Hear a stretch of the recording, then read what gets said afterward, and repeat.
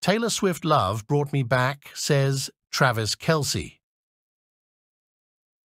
On Sydney Airport, 24 February 2024.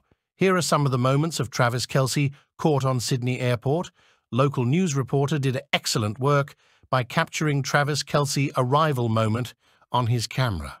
He wearing a green tracksuit and holding his bags as he walked into an SUV.